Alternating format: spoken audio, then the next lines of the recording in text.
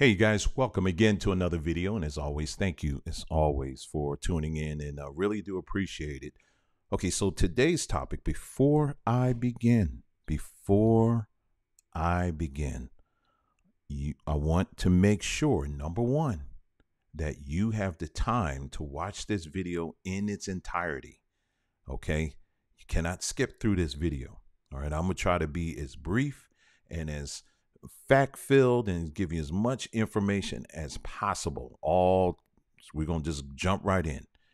But if you do not have the time to watch this entire video and you are ready to jump in the comments just based off of the title, then I would ask that you would just not just content go on to the next video. All right, look for the uh the video with the the dancing cats or something like that, okay, or whatever it is that you're going to watch next.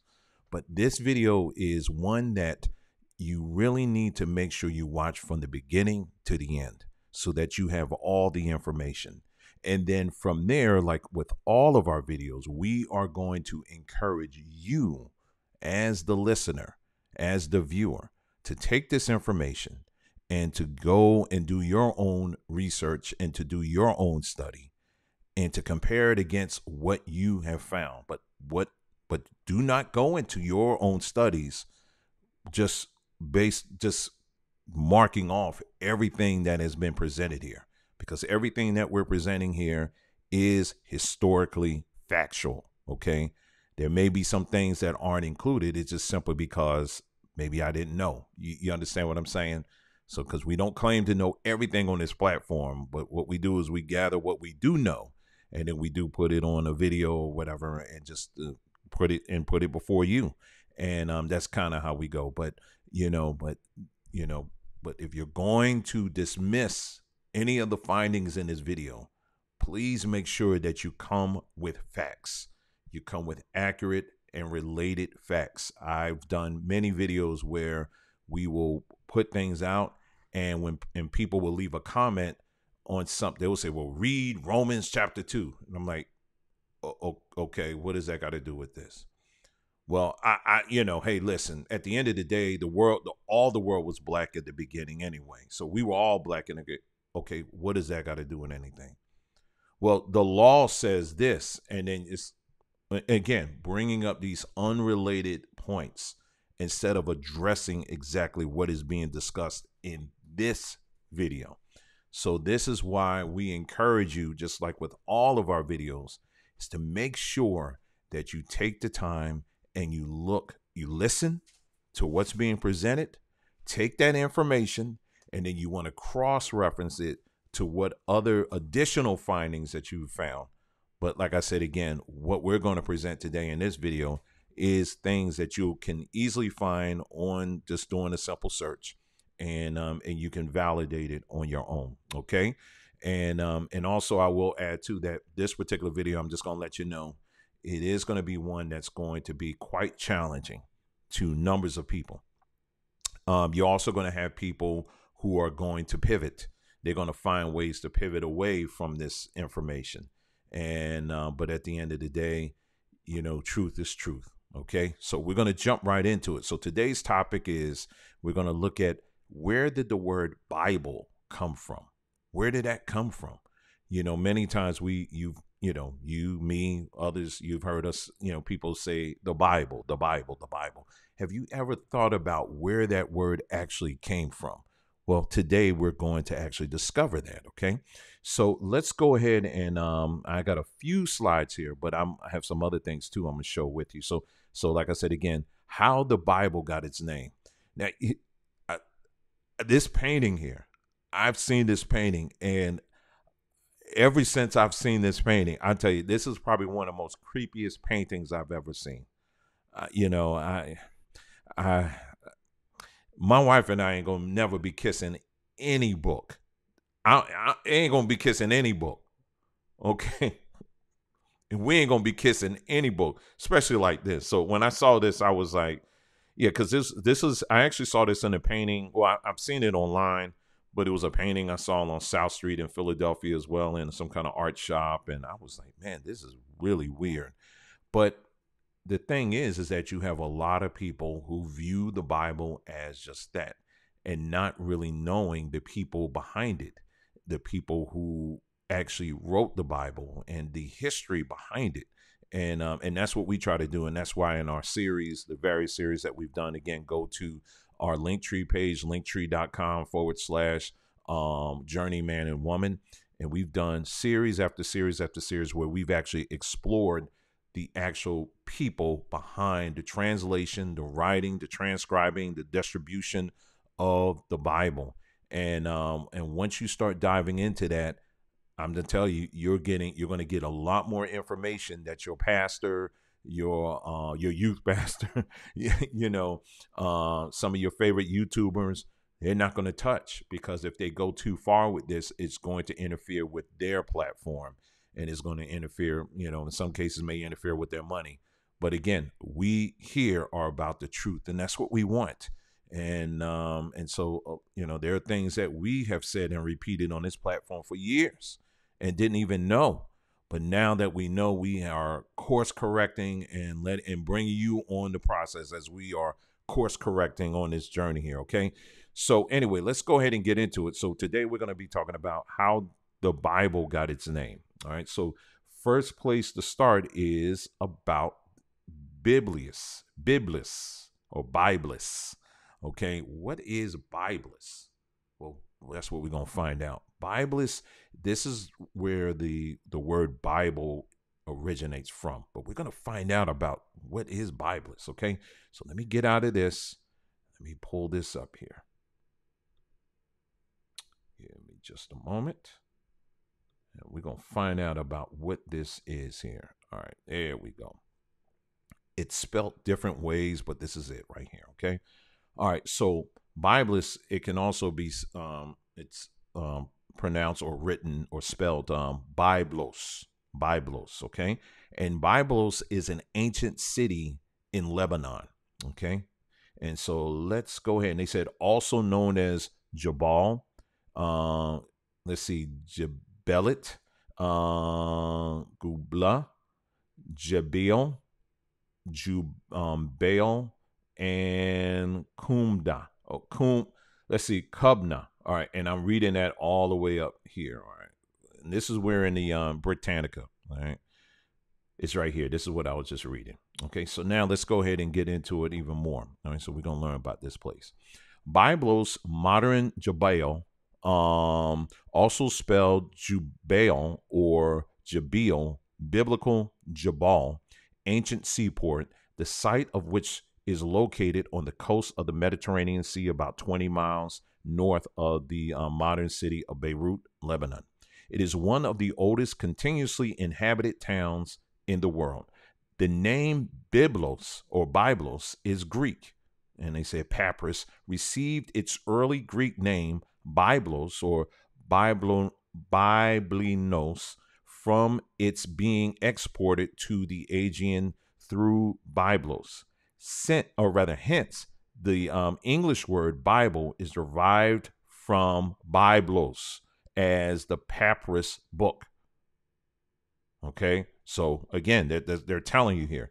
Hence, the English word Bible is derived, derived from Biblos as the papyrus book. So they're telling you that what we know today, the word Bible, comes from this city. It comes from the name of this city here. Okay. All right. So let's continue to read on. We just learned a little bit about the city and we're going to go even deeper. Modern archeo- archaeological excavations have revealed that Byblos was occupied at least um, by the Neolithic period, the New Stone Age and then they give the dates 8000 to 4000 BCE, and that during the fourth millennium BCE, an extensive settlement um, developed there. Because Byblos was the chief harbor for the export of cedar and other valuable wood to Egypt, it soon became a great trading center. It was called Kum- Kubna in ancient Egyptian and Gubla, and I hope I'm pronouncing that right, in Akkadian the language of Assyria. Egyptian monuments and inscriptions found on the site attest to the close relations with the Nile River Valley uh, throughout the second half of the second millennium. During Egypt's 12th dynasty, 1938 to 1756 BCE, Byblos again uh, became an Egyptian dependency and the chief goddess of the city, Baalit. Okay, you, yes, we read that right. So this city called Byblos, Byblos had a chief goddess. All right. And some of y'all may have picked that up in some of those, you know, the different spellings of the, the name of, of the town. You know, you may have heard Baal in there. Well, yeah, it was Baal. It was named, the city itself is literally named after a Baal. Uh, we've talked about this in other videos. Baal isn't just one god or one deity. There's a whole family of Baal gods. There's a whole family of them. And this is just one of them. Okay. So again, let's go back. Byblos again became an Egyptian dependency and the chief goddess of the city, Baalit, the mistress, with her well known temple at Byblos, was worshipped in Egypt. After the collapse of the Egyptian New Kingdom in the 11th century BCE, Byblos became the foremost city of Phoenicia. All right. So the other thing too that I want to make sure um, we talked about, um, or we talked about the Baals. The other thing too is Canaan. All right. So this area here, I'm gonna try to make this kind of big here. Let me see if I can make it any bigger here on this map so you can see. All right, so what they're showing you right now is this is Israel down here all of this Israel, and unfortunately, I can't move down any further south. If you, if I was to move everything further south, you'll see Egypt down in this area right here. But Israel, which according to the Bible, biblical account, um, this was the promised land. All right. And prior to it being called Israel, it was referred to as Canaan. And that's what the Bible says. However, historically, this was not, it was Canaan, but Canaan was also Egypt it was also considered Egypt. Okay. So when the Bible tells us that the children of Israel, they went to take over um, Canaan and they had to wipe all the people out or whatever, there is, first of all, there is no historical record of that even happening. That's number one. Outside of the Bible, there's no historical record of a group of people known as the Israelites um, taking over Canaan by act of war and all of that. Okay. At least not yet. There may be something that will come up in the future, but historically, outside of the Bible, you will not find that. Okay. Um, but this area here, known today as Israel, was at one time part of Egypt. It was known as the part of the New Kingdom. It was the New Kingdom period, and um, in this area right here, all of this was known as Egypt. Um, in one of our, and I think who in the L are you following series? I think that's the series one of the um, um, installments in there, we talk about the the vast amount of Egyptian artifacts that they are still uncovering in Israel today. Um, and I'm not talking just a little coin or a little rock or anything like that. I'm talking about entire caves and uh, um, places where tombs where bodies were were buried, you know, in Egyptian in the Egyptian way and all this stuff. So I'm talking about things that you can't even move you know, a lot of Egyptian things that they have uncovered and still continue to uncover. Another thing that they're uncovering in have been uncovering in Israel as well is a lot of Phoenician uh, works. Phoenician. One day, we're not going to get into it now because when I tell you, once we really get launch into that, that's going to be a huge topic. We're going to talk about the Phoenicians and who exactly they were. And I'm going to tell you, you're going to be quite blown away. um, yeah, it, you're gonna be bl- blown away at that. Okay, but we're gonna we'll get into that soon. But anyway, um, so yeah, so Byblos, as you can see, which they said this also at one time was part of Egypt. It was north of what we know today as Israel. Byblos is right here. This is where it's located. Okay, so all of this was considered Egypt.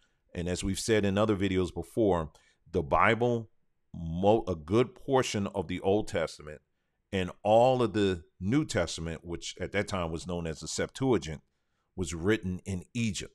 So what we know today is the Bible was written all under the umbrella of Egypt.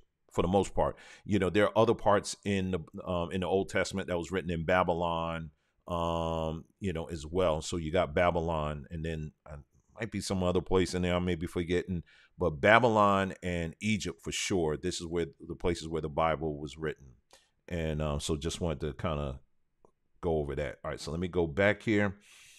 Uh, let's see. Let's bring this up here. The Phoenician alphabet was developed. You ever hear someone say, you know, spell it phonetically or say it phonetically? Well, that's where it comes from, Phoenician. Okay. The Phoenician alphabet was developed at Byblos, and the site has yielded almost all the known early Phoenician inscriptions, most of them dating from the 10th century BCE. By that time, however, the Sidonian kingdom, with its capital of Tyre, had become dominant in Phoenicia, in Byblos. Through its though it flourished into Roman times, um, never recovered its former supremacy. The Crusaders um, captured the town in 1103 and called it um, let's see, Gibelet.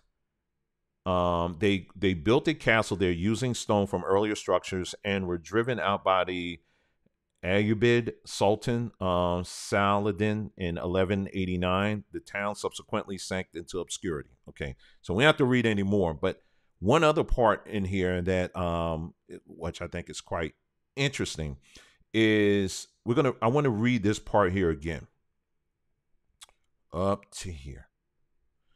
All right. So it says the Phoenician alphabet was developed at Byblos and the site has yielded almost all of the known early Phoenician inscriptions, most of them dating from the 10th century BCE. By that time, however, the Sidonian kingdom, and then I'm going to stop there, dot, dot, dot. Now, isn't it interesting that if you go to a state in the United States, Arizona, you're going to find a, the capital, the state capital of Arizona is Phoenix. Phoenix. And another town that's north of Phoenix is Sedona. Isn't that interesting? Not a coincidence at all. It's not also a coincidence that um, a lot of the, if you start, if you want to get into some of the archaeological findings, like in the Grand Canyon, they have found a number of things where you have a lot of people say, see, it's Hebrew. It's Hebrew all over the place here this all Hebrew inscribed in you know in in in um in some of the rock formations and stuff like that. It's not Hebrew, it's actually Phoenician. And like I said again, we're gonna get into that. That's a whole nother topic we'll get into. But anyway, I think I thought that was very interesting. I want to bring that out as well. So let's go ahead and continue here. Um, let's go to Wikipedia. And again, I'm just showing you resources here that you can easily find on your own. And I would encourage you again to make sure you take this information and then you do your own additional research here. But if you're going to say that any of this is wrong, you know, or inaccurate, then the challenge is to you is to show factually that anything I'm saying here up to the, you know in this video is in fact that's the case because we're all going to sources here. Okay, so let's go. Okay, so um, Byblos um, also known as okay, let's skip skip down here because some of it is repeating here. Okay, um, okay, etymology. Let's talk about that. Eusebius um, stated that Biblos was known in Hebrew as Gabel or Gobel. Gobel. The name appears as Kem- Kebni in Egyptian hieroglyphic records going back to the fourth dynasty pharaoh um, Sephiro and as um, Gubla in the Akkadian cuneiform are, let's see, Amarna letters to the 18th, um, 18th dynasty pharaohs Amenhotep, Hoptep, the third and the fourth. In the first millennium BC, its name appeared in Phoenician and Punic inscriptions as Gabal, and then it goes on and it says in the Hebrew Bible as Geval, Jeval as G E V A L, and the Syriac as, and then they spell it there, G B L. All right, let's see here. The name seems, this is a part here I want you to pay attention to as well. The name seems to derive from well and God. The latter, a word that would variously uh, refer to any of the Canaanite gods to or to their leader in particular. The name thus seems to have meant the well of the god or the source of the god. Did you hear that? So the word Bible or Biblios, the word Bible, which comes from Biblos, Biblos means the well of the God. Which God are they talking about? A Canaanite God. All right. And we're going to get into the spirituality part in a moment here. All right. So when you say Bible, what you're referring to is a Canaanite deity. All right. Uh, let's see here.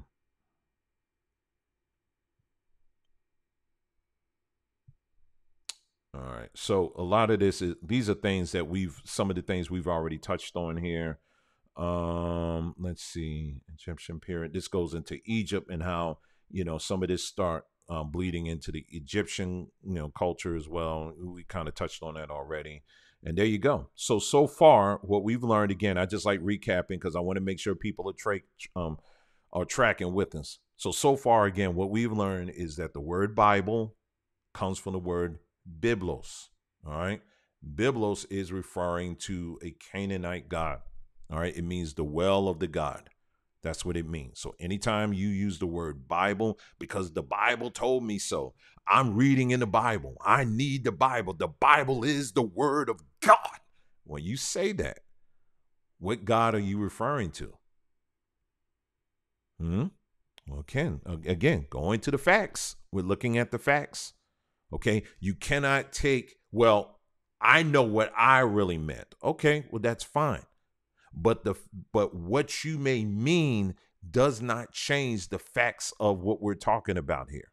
Do you understand what I'm saying? Because there are a lot of people right now at this point in this video will hear this and dismiss it simply because you believe that your belief changes that.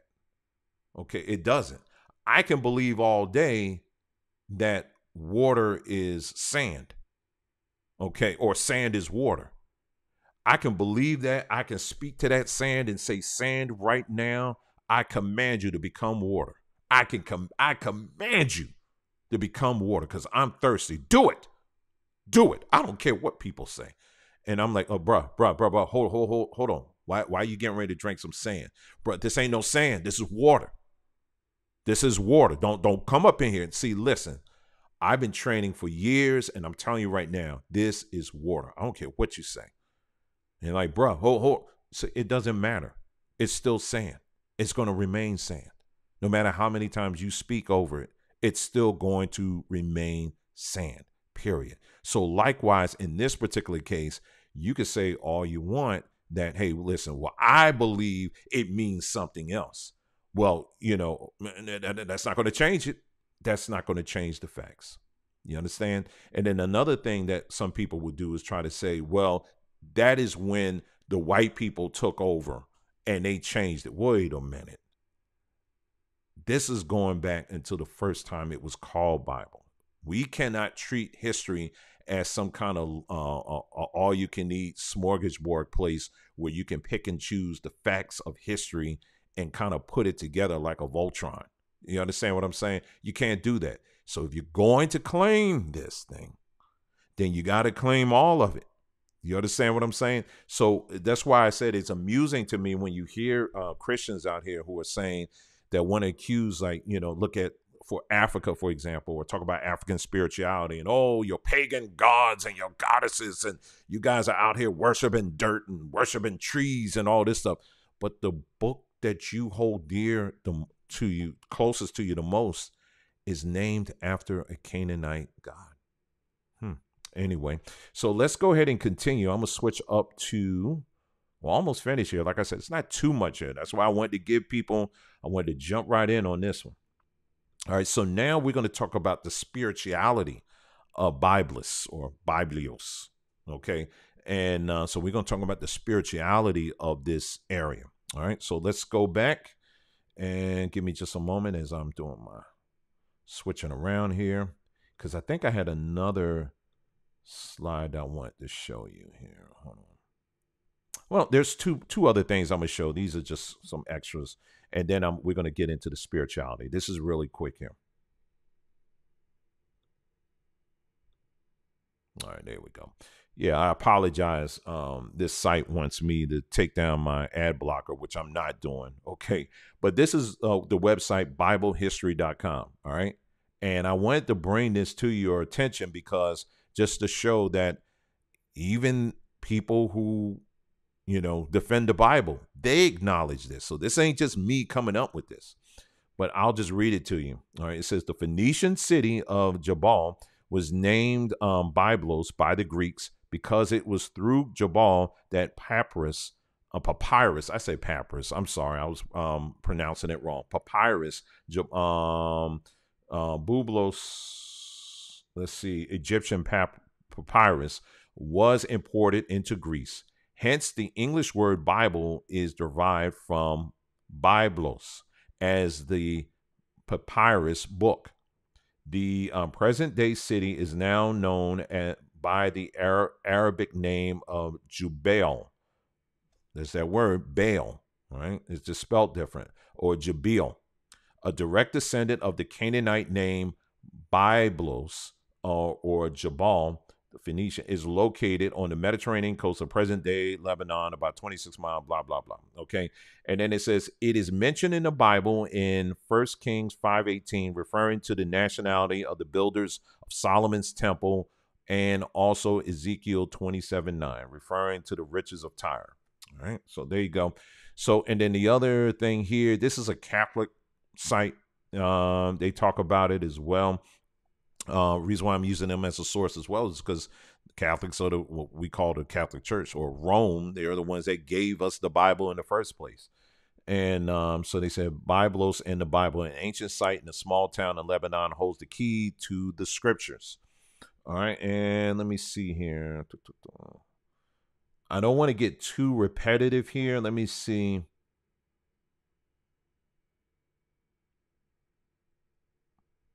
I'm just scanning through here. Okay, let me let me just kind of go through this real quick. Okay, um, there's an ex- there is an extensively um, excavated area in otherwise drab little town of Jabal, uh, Lebanon, a conglomerate array of ruined temples, castles, and prehistoric dwellings that stirs the imagination of those who read the guidebooks from the area or as fortunate enough to gaze upon the um, panorama firsthand. In recent years, the ancient site called Byblos has attracted the attention of those interested in studying the scriptures in the light of new archaeological findings. For, besides shedding lights on the early history of mankind in the Near East, Byblos has interesting associations with the Bible. Perhaps the most fascinating link is that through a long sequence of events spanning centuries, the very word Bible itself came indirectly from this ancient Phoenician seaport. Uh, located about 20 miles north of Beirut, this historic commercial center is claimed to be the oldest continuously um, inhabited city in the world. Excavations undertaken since 1921 has unearthed ruins that date this Neolithic age from the Neolithic age as well as the, okay. I'm gonna skip here. Okay. Um, Okay, let me go come down here. In time, the Greeks came to associate the product with its shipping port, so they gave the name Byblos to the pap, um, papyri materials which had originated in Egypt. Later on, as single pages of papyri were glued together into rolls and bound, the word Biblos developed into the word Biblia, meaning books. According to Bible scholars, the Greek church fathers finally applied the word Biblia to the sacred scriptures in the 5th century AD, and from that point on, the holy book has been known as the Bible. All right, let me just read this here. Besides lending its name to the greatest book on of all time, Biblos has continued uh, contributed much to the history of civilization in general. Interesting Undamaged by the most recent civil war, which has caused so much destruction elsewhere, Byblos continues to fascinate those who attempt to unravel the very long and complicated history of the Near East. As one writer has said, Byblos constitutes a sort of condensed history of Lebanon. And then it goes on. Okay, so there you go. So yeah, so um quite fascinating stuff again. I think we've kind of established very strongly here that this is the where the word Bible comes from. Okay, now let's go to the spirituality. Let's learn a little bit more about it. We we we heard a little bit about it, but let's learn a little bit more. Right now, I'm on the website um byblosruins.com. So they are all dedicated to studying and examining the ruins of this ancient city. Okay, so let's go ahead and take a look at this.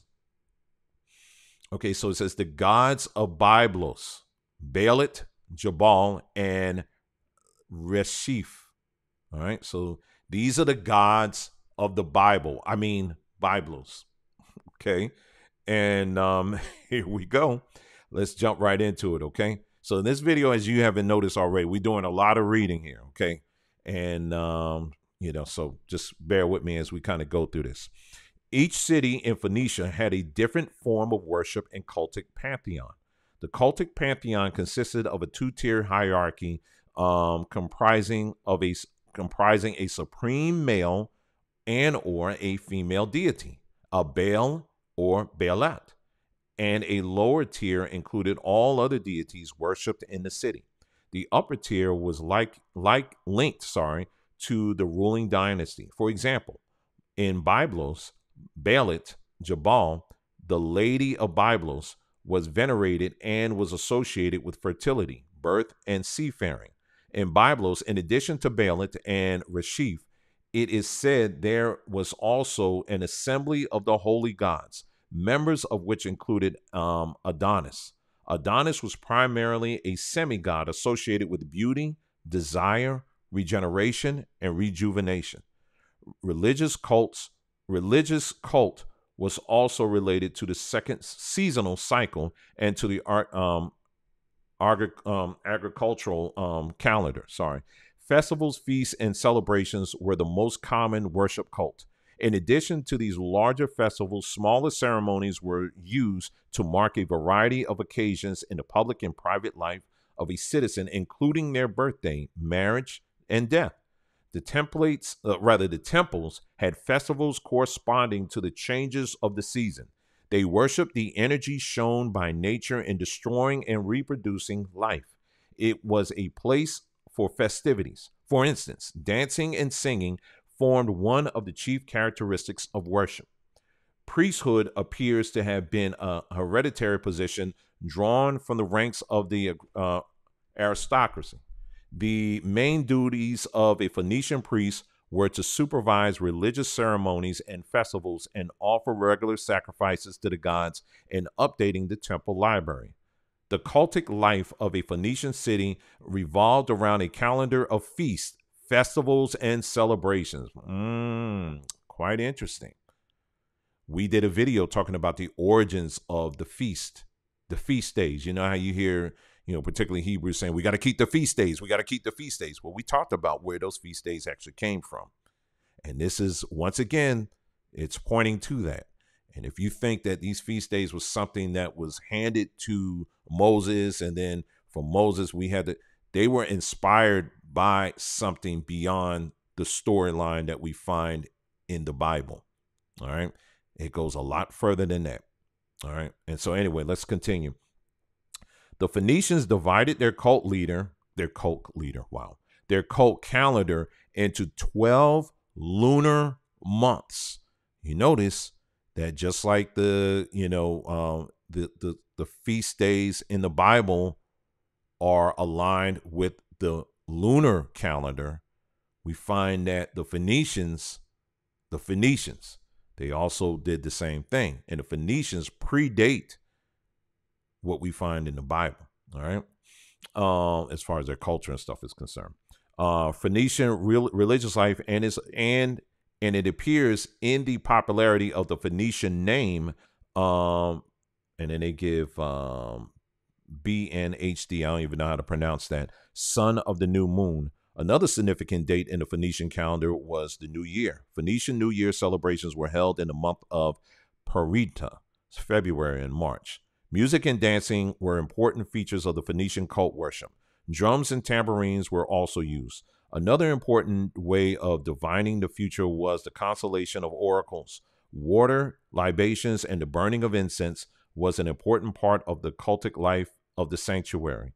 The most common type of libation consisted of a mixture of wine and water, oil, milk, honey. Philo of Byblos suggested that the Phoenicians believed in some form of afterlife. The lotus flower was often used to represent the protection and renewal of the spirit. Um, let's see, inhumation was one of the main forms of burial practice during the um, um, sorry, the late Bronze Age. The Phoenicians constructed two types of temple the open air precinct and the built enclosed temple. Open air precincts consisted of a paved open courtyard with that housed the altar um, or betyl or sacred stone. Open air complexes tended to be elevated by means of a built platform. Temples had ceremonial basin. Same thing you find in the Bible. Okay, the enclosed temple had a central temple or chapel, a large open courtyard, and an ornate um, portico through which the site was entered. All right, it goes on here. What I will do is I will put the the link in the uh, description below so that you can read this. There's a lot in here, but they really break it down as far as like what these people believed and what it was about. Okay, so just for out of the interest of time and you know knowing that we're in the age of TikTok where people's attention kind of clocks out after a few minutes. So I just want to make sure I don't lose people here. Um, do I have anything else that I can show you here? Hold on. Anything else that I had that was mentioning here? I think that's that was it. All the main stuff here. Like I said, I'll put the link in the description so that you can follow along. You can read for yourself and you can keep, you know, add to your own research. So, so again, as we've been saying on this platform, when you take a look at Christianity in of itself, you will see that when you begin to start deconstructing and looking at it, you know, from multiple angles and not just saying this, you know, like the song says, God said it, I believe it, and that settles it. And I'm not going to question anything about it. Once you begin to start delving in and going beyond that narrative and beginning to investigate on your own and to start looking at the, looking at other historical accounts, factual historical accounts, you know, from people especially that have gone out into the field and are looking and bringing back, you know, the resources and saying, "Hey, this is where we found. These are the artifacts that we found in this area." You know, those are the resources that you want to pull from you know, so that you can, you know, say, okay, I think we got something here. But if you think for one moment that your claim can just overshadow all of that, then you are the biggest fool on that. You know, so your your whatever you want to claim. So even if someone wants to say, you know, for people who say, well, you know, hey, the original people, you know, they were black. The, all these people that we just discussed here, you know, the ta- the city and all that, the whole town of Byblos was black. Okay, fine. Okay, if you want to settle on that, okay, fine. The next layer that a lot of people don't want to go into is let's look at the practices of these individuals. All right. So what we've learned is regardless if you're a Christian, if you're a Hebrew, the word Bible in of itself is in effect dedicated to a Canaanite deity. It's dedicated to a Canaanite deity. Baal. That's where it comes from. All right. So I hope you got something out of this. And um, and like I said, I would encourage you again to go check out our series. Who in the L are you following? It's a series that, like, you know, in this video, I'm hitting about 40 minutes right now in this point in the video. Some of those videos, I'm gonna tell you right now, they're like two and a half, maybe even three hours long. It's that much information, but it's a lot of information that is needed as we kind of go through this thing step by step. Because again, particularly for us as um, descendants of Africans that were brought over as slaves, it's imperative for you to begin to look at this thing closer. Because again, what was given to you was not something you brought. You did not bring the Bible with you on slave ships. Your ancestors did not do that. Your ancestors were not calling out on the name Jesus in slave ships. They were not worshiping Jesus. The first time they heard the name Jesus was by way of the um, the uh, the colonizers, the Europeans that came over. We're going to do another video where we're going to talk about um, that first interaction because again, when people want to say that Christianity was something that was being practiced all over uh, the continent of Africa, you know, it was something that was birthed in Africa, but it was birthed in Egypt. That's where it came out in Egypt. Egypt is Africa, correct? Correct. But here's the thing who was in control in Egypt at that time? It was Greeks and it was also Romans. All right. So that's how Christianity was birthed out of that.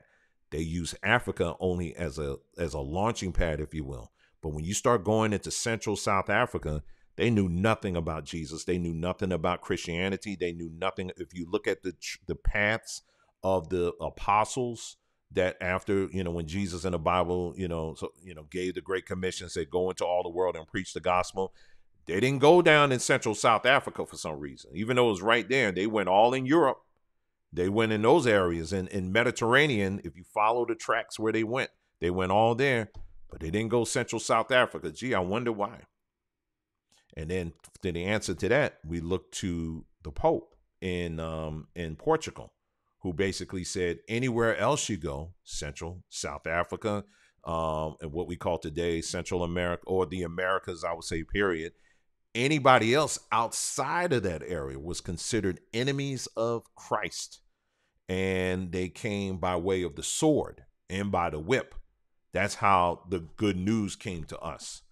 So if you're going to have a discussion about, you know, uh, Christianity and its origins, we have to make sure that we're looking at all of it, starting with the name Bible. Family, thank you so much for tuning in. You guys take care, and we'll be talking again soon.